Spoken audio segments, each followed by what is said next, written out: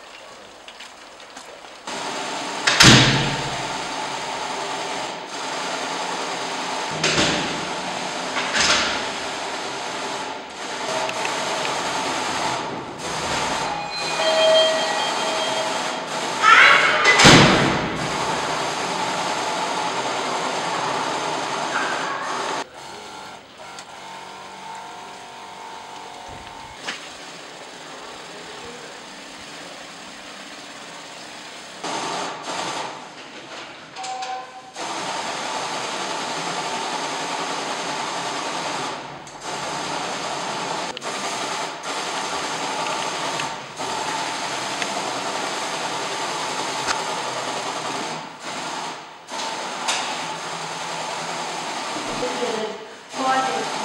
Asansör içine de yapıyorsunuz değil mi? Devam yapma.